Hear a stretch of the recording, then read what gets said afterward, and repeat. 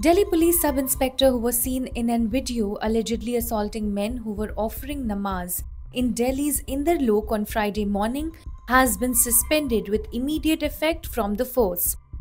In the purported video, the official is seen kicking and slapping the men offering prayers on the road.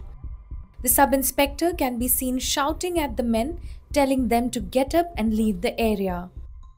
Video अ, सामने आई थी video viral हुई थी उस video में जो पुलिसकर्मी दिख रहे हैं उनके खिलाफ एक्शन लिया गया है और जो पुलिस पोस्ट इंचार्ज थे उनको सस्पेंड कर दिया गया है।